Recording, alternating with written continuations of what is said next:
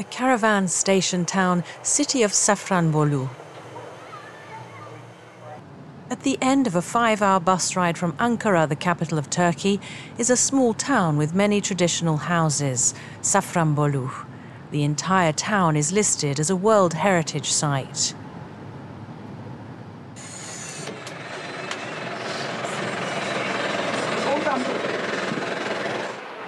Old wooden houses were built close together.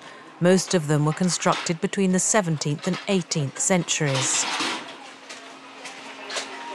Safranbolu was an important stopover on the trade route between the Black Sea and the Mediterranean. Traders in horse and camel caravans stayed in the town. In the blacksmith's quarter, horse harnesses were mended. Streets lined with simple houses echo the past. The workshops would have looked just the same in the old days. Tree branches stretch over the street, providing shade during the summer. This street, filled with souvenir shops, used to be a shoemaker's street.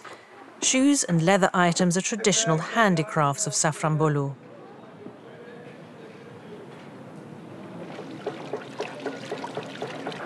The shoemaker is making some light, soft shoes for people to wear in the mosque.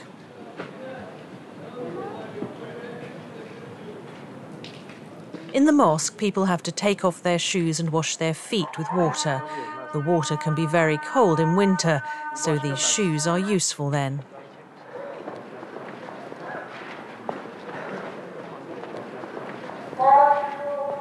Safranbolu's role as a caravan halt came to an end with the arrival of the railway during the 20th century.